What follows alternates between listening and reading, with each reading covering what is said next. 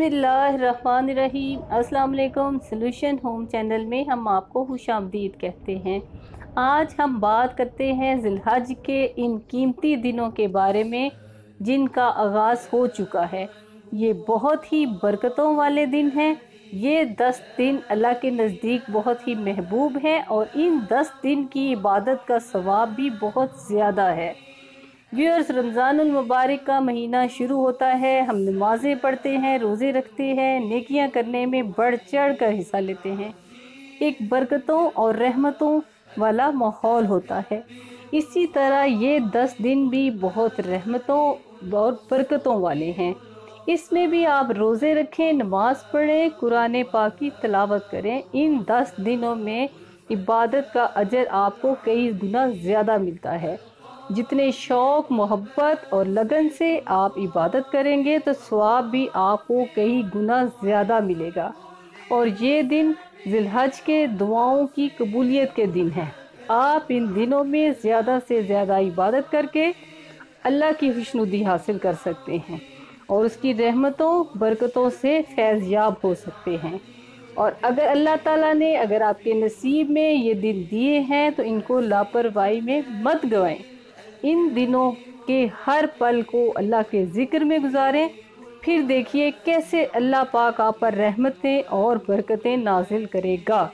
जितनी मोहब्बत और लगन से आप रब का ज़िक्र और इबादत में मशगूल रहेंगे, उसी मोहब्बत में अल्लाह ताला आपके लिए भी रहमतों के दरवाज़े खोल देगा और इन दिनों में दरुद पाक की कसरत से पढ़ें। कुरान पाक की तलावत करें, मिल बैठ कर महफिलें सजाएँ ज़िक्र असकार करें और इसमें इबादतों में मशगूल रहें। इन अल्लाह पाक आपकी हर परेशानी अपने ज़िम्मे ले लेगा और आपके घर में रहमतें, बरकतें नाजिल करेगा।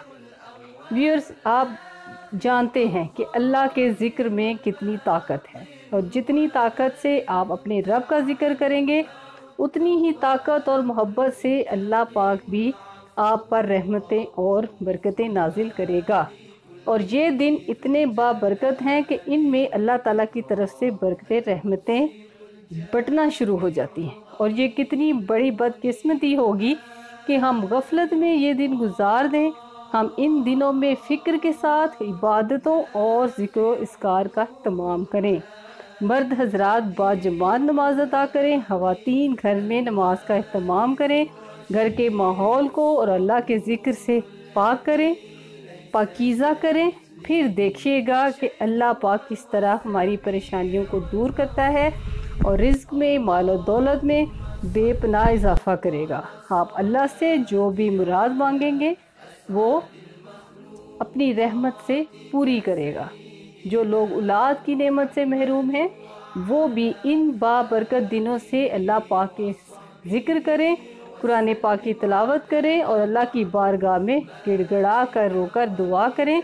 इन इन दिनों की बरकत से उनकी मुराद ज़रूर पूरी होगी। और हजरात, जो हजरात परेशान हैं और कर्ज के बोझ तले दबे हुए हैं, जिनके यहाँ रिस्क की कमी है और वो चाहते हैं कि अल्लाह ताला उनको रोज़ी को और फराह कर दे। तो वो भी इन दिनों का भरपूर फ़ायदा उठाएँ। दरुद पाक की तस्बी करें और जितने लोग भी घर में हैं, वो सारे सूर फातिहा की तलावत करें। दरुद पाक की तस्बी करें और सूर फातिहा का, की तलावत करें और मगरिब के बाद सूर वाक़ की तलावत करें। किसी कभी भी रिस्क की कमी नहीं होगी। ये अमल आप करें इन पूरा साल आपको रिस्क की कमी नहीं होगी।